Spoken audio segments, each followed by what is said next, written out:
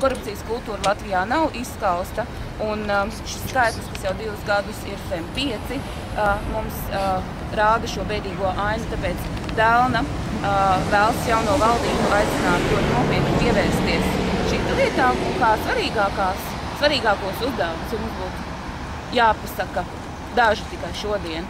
Mēs uzskatām, ka valdībai ir noteikti jāturpina stiprināt knābu, gan knābu izmeklēšana, gan knābu uh, citas darbības korupcijas novēršanas valstī, jo tā ir centrālā vieta, kur uh, valstī, uh, kas koordinē šīs lietas valstī.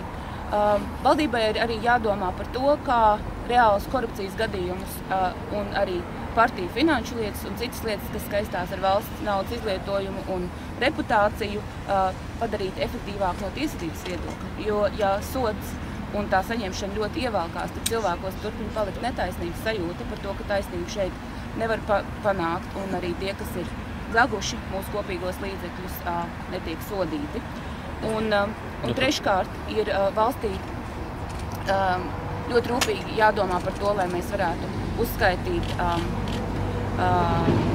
visus mūsu kopīgos un katra individuālos ienākumus, jo tikai tā mēs varēsim izsekot naudas plūsmām.